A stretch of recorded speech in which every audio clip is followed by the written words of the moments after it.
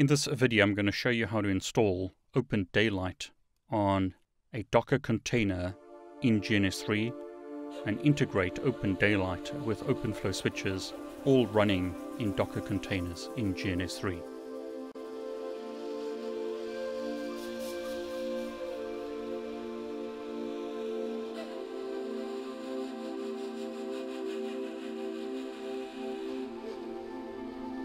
In a previous video I showed you how to get an Ubuntu Docker container running within GNS3. So under GNS3 preferences we can see that a Docker container exists for Ubuntu.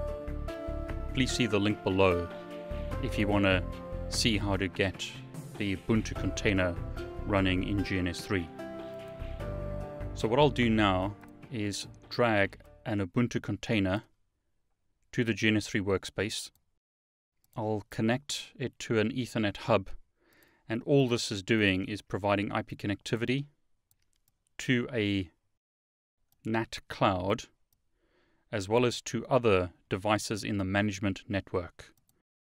I'll also drag a Firefox host into the topology. I'm going to use that to give us a graphical user interface to the Open Daylight controller running on the Docker container. So I'll cable up the network as follows. You could use an Ethernet switch rather than a hub, or use a more complex device here if you want to. But what's important is that we have OpenFlow switches, which will connect to our topology. So I'm going to connect these two OpenFlow switches on their management ports or Ethernet 0 ports to the hub and then I'll connect them to each other. So as a first step, we'll edit the config of the Ubuntu server. I'm going to remove the comments on these two lines and save the file. So what I'll do is start up all the devices and open up a console to the Ubuntu server. We can see here that the server was requesting an IP address and has received one. So ifconfig shows us the IP address of the Ubuntu server. I'll also open up a console to the Firefox PC. That's already booted. I'll open up a terminal and use ifconfig to check whether it got an IP address, and it did. So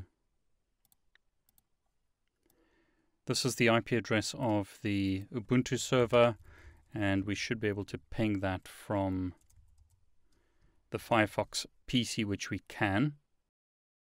I'll also open up a console to the two Open vSwitch switches and they should also have got an IP address. So ifconfig eth0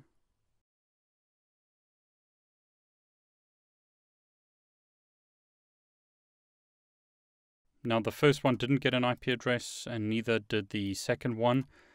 So what I'll do is shut these down.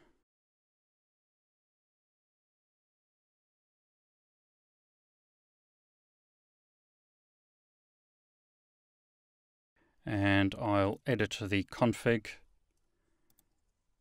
I also need to remove these comments on both switches. So right click on the switch, edit config, and remove the comments for these two lines because we want the switches to receive IP addresses through DHCP. I'll start them up again and open up a console on both switches. So ifconfig now, and let's do that for ETH0 again. The switch has received an IP address, and so has the switch. So let's confirm that both of them can ping the Ubuntu server. First switch can, second switch can. Now we have a loop in this topology, so what we should do is enable spanning tree on the two open vSwitch switches. So the command to do that is ovs vsctl or ovs vskettle if you prefer. Set bridge br0 stp enable true. Now in a previous video, which I've linked below, I'll show you how to configure these OpenFlow switches. But as an example, OVS VSCTL show shows me information about the switch, including the bridges available on the switch. BR0 is the OpenFlow bridge that we're concerned with. The command OVS OF CTL O OpenFlow 13 dump flows BR0 shows us the flows available on the OpenFlow table. At the moment, all traffic is going to the normal port, so we need to enable spanning tree to stop a loop in our topology. So we've got the basics of the network configured. Now let's install Open Daylight on the controller and then integrate the switches with the controller. I want to thank you for watching. If you enjoyed this video, please like it and please subscribe to my YouTube channel. I wish you all the very best.